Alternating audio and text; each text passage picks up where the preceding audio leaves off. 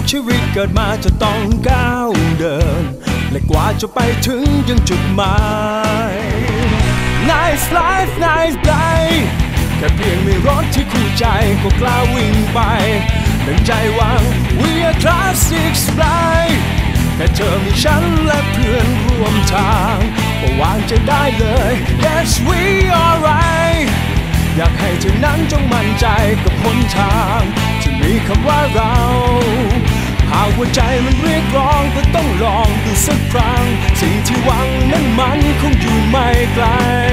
มีแต่ความผูกพันที่พร้อมกันจะก้าวไป ไปกับรถคู่ใจบนเส้นทาง ยิ่งใหญ่ของใจเรา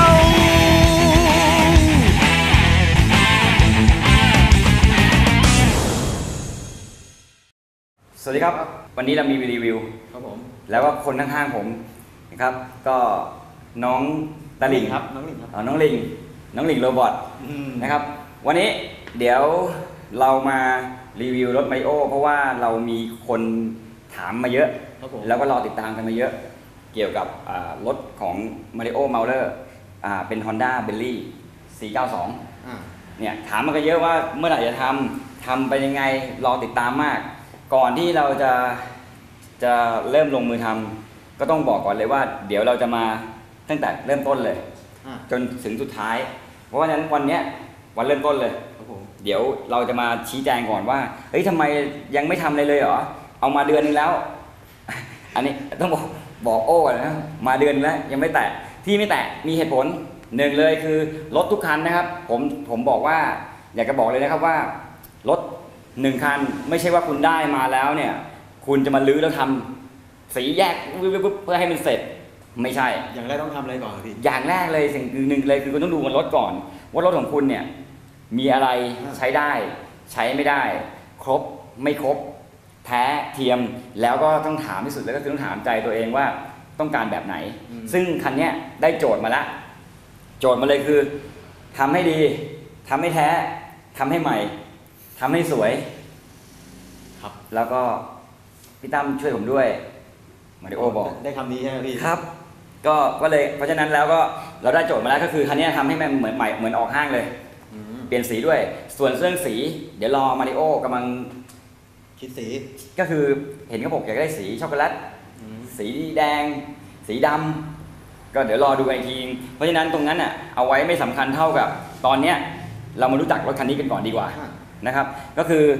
บอกไว้เป็นแนวทางสำหรับคนเล่นรถเลยนะครับ ว่าทุกคันลุกรุ่นเหมือนกัน ทุกคันลุกรุ่นเหมือนกันเลยก็คือ ได้มาแล้วอย่าเพิ่งรีบรื้ออย่างแรกเลยอย่าเพิ่งรีบรื้อให้ดูก่อนว่ารถของคุณเนี่ยมีอะไรที่มันขาดหายไป มาเริ่มต้นคันนี้เดี๋ยวเรามารีวิวคันนี้ก่อนเลยนะครับผมเนี่ยก็คือถ้าเกิดว่าเราต้องการให้รถมันเดิมและเนี้ยบและแท้เนี่ย เรามาไล่ตั้งแต่แรกเลย กระจกเนี่ยที่เอามาเนี่ยไม่ใช่ละแน่นอน กระจกไม่ใช่ ปลอกมือที่ใส่มามีตาฮอนด้าก็จริงแต่เป็นของเทียมอืมพอเป็นของเทียมปั๊บคราวนี้ก็มาดูที่สวิตช์ hand อะสวิตช์แฮนด์เดิม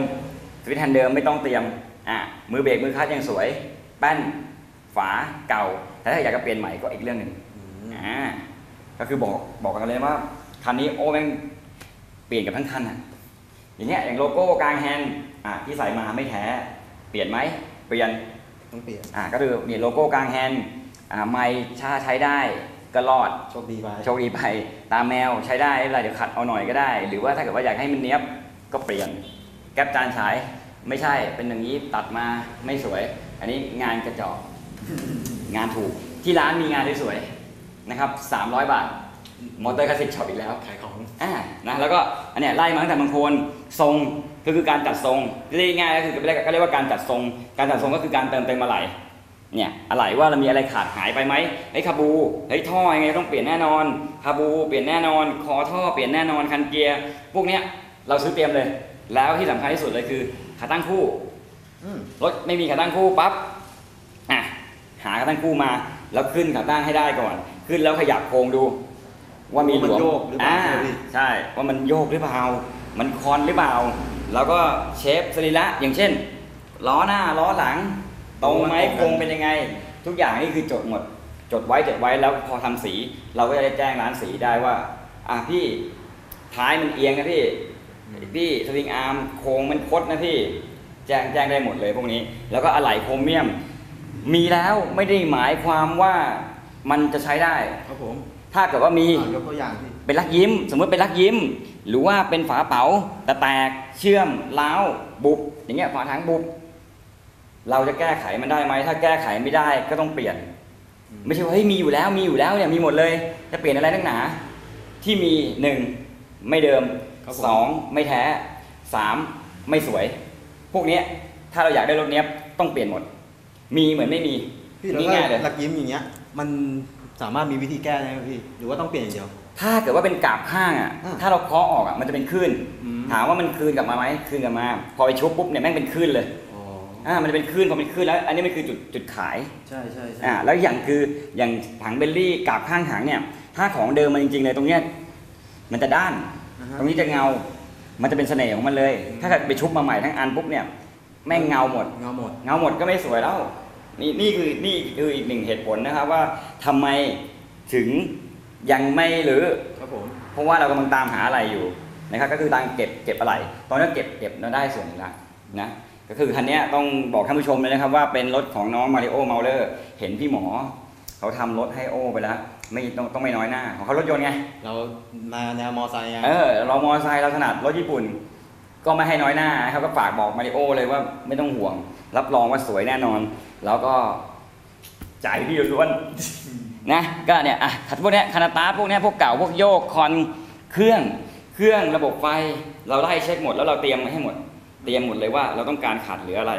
เนี่ยเราก็มาไล่รีวิวคันนี้นะครับ ถ้าดูจากเลขเครื่องเลขโครงแล้วเนี่ยครับผมอ่าคือผมเองก็อยากจะบอกว่าเอ่อเครื่องคันเนี้ยมันไม่ใช่เบลลี่อ๋อมันเป็นเครื่องของอะไรอะพี่อะอันนี้อันนี้พูดจากใจเลยนะ ถ้าดูปุ๊บเนี่ยพอดูเลขแล้วเนี่ยมันไม่ใช่ก้าวหางออย่างที่ตำราเขาบอกอืมอ่าหรือว่าที่มันควรจะเป็นในยุคปีเก่าๆซึ่งตัวเนี้ยมันปี 61 พอปี 61 ปุ๊บแต่ว่าเลขเครื่องมันเป็น C92 ธรรมดา ผมคิดว่าน่าจะน่าจะเอาเครื่องกับญี่ปุ่นมาลง อืมก็คือสลับเครื่องไปแล้ว ใช่ครับน่าจะมีการสลับเครื่องแล้วแล้วแจ้งเปลี่ยนเครื่องหรือเปล่า อันนั้นก็อีกเรื่องหนึ่งเพราะมีทะเบียน จริง ๆ แล้วถ้าเกิดว่าจะให้ง่าย ๆเลยนะ ยกซื้อเครื่องเก่าญี่ปุ่นมาหนึ่งตัวที่เป็นหางอ สับแข้งเลย สับแข็งสับเครื่องเลยก็ได้ สับเครื่องให้เลขมันตรงเป็นเบลลี่ด้วยอืมไม่ยากไม่ยากตรงนั้นก็คือมันมันมีวิธีการทำให้ถูกต้องตามกฎหมายทุกอย่าง แต่แกงไม่ใช่เบาะเดอะเบาะเป็นของเทียม พวกเนี้ยครับที่คือมีสาเหตุหลักง่าย ๆ เลยก็คือในเบรกนี้เราก็จะบอกว่าสาเหตุหลักของการที่จะทำรถการเริ่มต้น ผมเคยบอกไว้ในหลาย ๆ เทปแล้วว่ารถหนึ่งคันได้มาอย่าพึ่งอย่าเพิ่งรื้ออย่าเพิ่งรีบเลย คือการลื้อไม่ใช่คำตอบที่จะให้ไปบอกว่าเฮ้ยมึงทำรถเร็วลื้อเนี่ยแป๊บเดียวทำก็แป๊บเดียวสำคัญที่สุดเลยคือ ถ้าลื้อแล้วต้องห้ามรอใช่ครับอะไหล่ต้องพร้อมอืมหรือทำสีไปชุบผมเมียมไป อะไหล่รอไป เสร็จปุ๊บเครื่องมาเตรียมตัววางรอปุ๊บพอปัดเงาเครื่องอะไรเสร็จปุ๊บประกอบอะไหล่พร้อมขึ้นตัวสีเสร็จเรียบร้อยโครเมียมเสร็จ มันก็จบในแป๊บเดียว เพราะฉะนั้นแล้วการที่เราจอดไว้เฉยๆไม่ได้รื้อไม่ได้หมายความว่ารถไม่ได้ถูกทำสำคัญที่สุดเลยคือการเติมอะไหล่หาอะไหล่ที่มันขาดหายไป ถ้ามันยังเป็นคันอยู่แบบเนี้ยถ้ามันยังเป็นคันอยู่แบบเนี้ย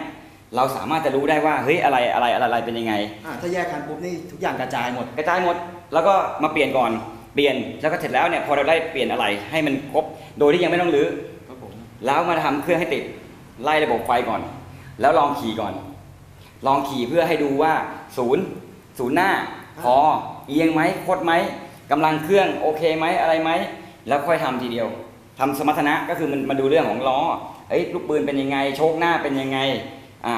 ลูกปืนคอเป็นยังไง ท้ายเบี้ยวไหมคดไหมแกว่งไหม